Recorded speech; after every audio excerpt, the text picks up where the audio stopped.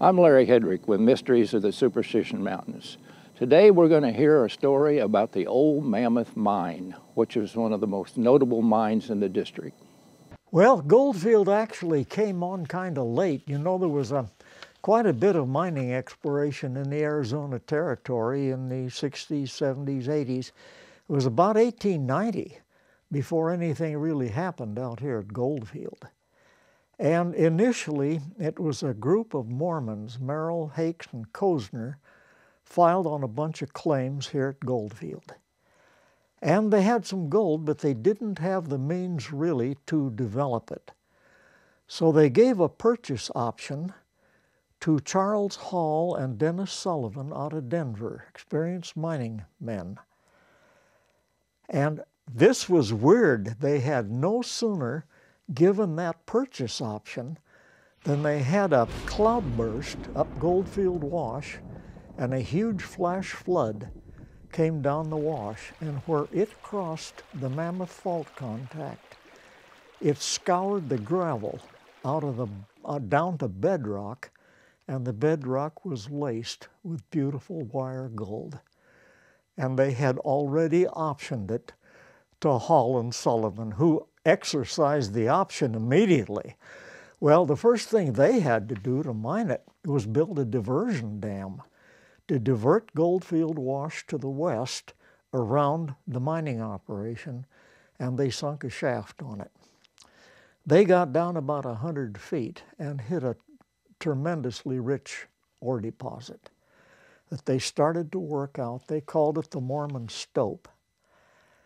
And they had taken out, oh, about 28,000 ounces of gold. Now, gold back in those days, that was $20.67 an ounce, and the 67 cents used up in, in refining fees, so call it $20 gold. That 28,000 ounces today would be worth $35 million. Well, the same fate that created the Mammoth Mine destroyed it. There was another flash flood. It washed out the dam. It flooded Goldfield. It collapsed the Mormon Stope. And they lost probably $5 million that they had blocked out in the Mormon Stope when it collapsed. So they shut that down. They moved south down the, everything here at Goldfield is on the Mammoth Fault contact. It runs about 4,000 feet here. They moved south on the Mammoth claim to what they called the Glory Hole, and they pulled quite a bit of gold out of that. And one of the the so-called records is that they all told pulled out 105,000 ounces of gold out of the mammoth. That's $130 million today, today's market. Well, they shut it down. Goldfield became a ghost town until 1909, when George U. Young, who was the territorial secretary for Arizona Territory, bought out, Hall had died, bought out the Mammoth Group from Hall's heirs. But Young had a different approach to it. Hall and Sullivan were simply following extremely high grade veins. Young had the idea of rather than doing that, but uh, exploring a large body of lower grade ore that could be worked open pit and take everything, blood, guts, and feathers, and do a heap leach. Well, in the process of trying to block out this ore body, Young put ended up with over three miles of underground workings down to the thousand foot level. And this was basically between 1913 and 1923. Well, just in exploration, by today's prices, they took out two and a half million. And there was more than just what they had on the Mammoth. From the Mammoth claim running north, you've got the Mammoth, the Tom Thumb, and the Black Queen. there was quite a bit of work done on the Black Queen. In fact, they had a, a huge power plant, uh, steam power generating plant here at the Mammoth. They actually ran a high voltage transmission line up to the Black Queen, put in a substation up there for the work done on the Black Queen, and there was a, a number of shafts put down there.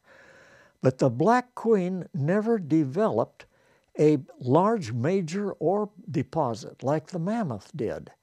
It was smaller veins of extremely high grade ore, but very small veins. And the Black Queen never really amounted to that much in the pioneer era.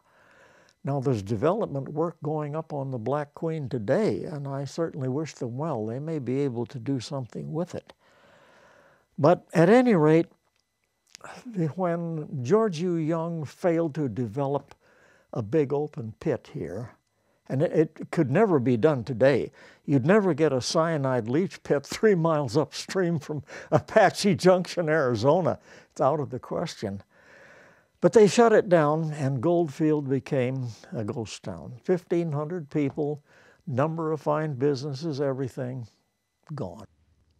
There is a story that's been told so many times it's achieved a life of its own that the last shift at the Mammoth Mine, the miners drilled, loaded the holes, spit the fuse, left the mine, and blasted.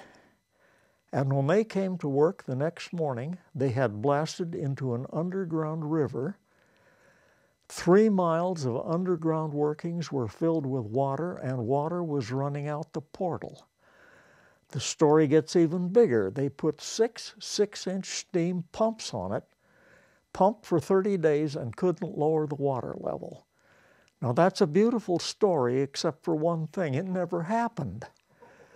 The written record shows four years after they had shut down the Mammoth Mine, it had filled up to the 400 foot level.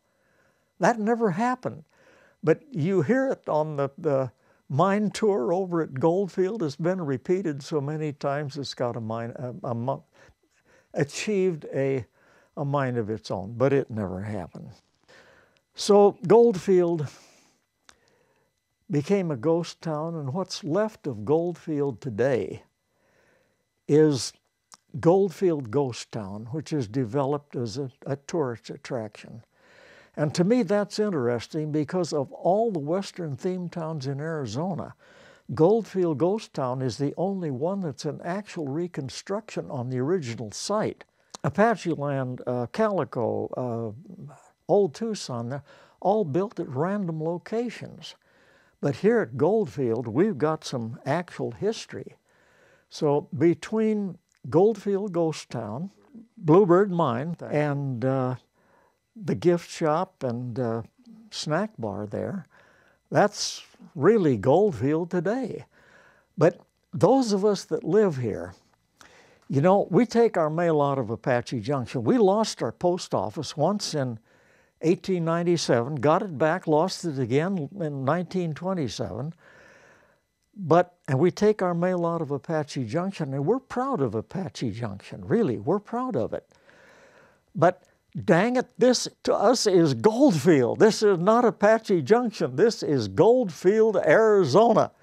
We're kind of proud of it. Thank you for watching this episode of Mysteries of the Superstition Mountains.